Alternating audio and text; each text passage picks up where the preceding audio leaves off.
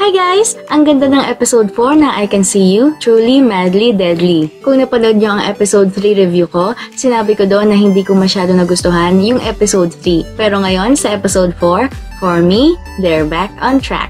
Ang ganda ng flow ng story, believable yung mga scenarios, and the acting was good. Nakakatuwa dito si Dennis Trillo, yung mga facial expressions niya kapag nagkukunwaring bait-baitan, nakakaloko. Ang sarap niyang tampal-tampalin. Tapos, nakakatakot naman siya pag nag-psychotic Drew. Siya for me, ang highlight sa episode na to. Buhay pa si Abby. Ang akala ko pinatay na siya ni Drew ngayong episode 4. Sa episode 5 or sa finale episode pa pala niya gagawin yon. Kung mapapatay niya nga. Sa teaser ng episode 5, bibitayin ni Drew si Abby. Plinano na niya ang lahat para magmukhang makatotohanang nagpatiwakal si Abby. Pero naisip ko, isa sa mga bida dito si Rian Ramos. Kaya mukhang hindi siya mamamatay dito. Kaya tingnan na lang natin kung matatakasan niya si Drew. Ang more likely pa na mamatay sa storyang ito ay si Drew. Baka mapatay siya o baka patayin niya ang sarili niya. Pinakita din sa finale teaser na napulot ni Tere ang USB flash drive ni Abby. Binuksan nila yon at nakita ni Colleen ang mga CCTV footages niya sa quarters niya. Malaman kaya agad nila na si Drew ang may kagagawa nun? I feel strongly na hindi mamamatay dito si Abby. Kasi feeling ko, ipapakita ng I Can See You, Truly Madly Deadly, ang kahalagahan ng friendship. I think magkakaayos si Abby at Colleen dito. They will forgive each other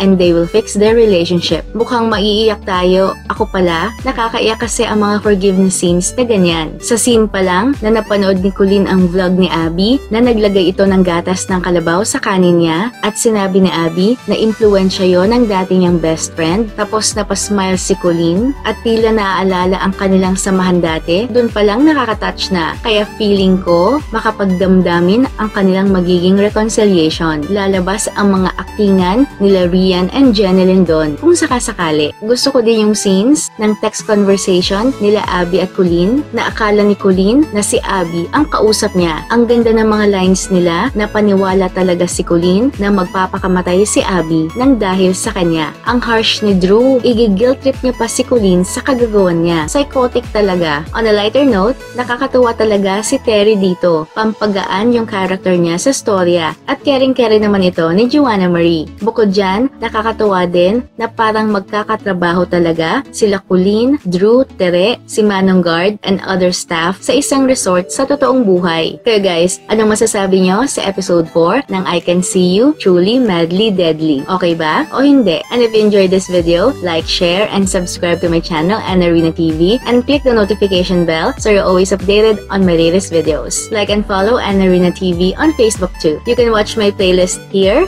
or here para makita nyo ang kompleto kong review sa I Can See You series. Thank you for watching and watch my other videos in this channel.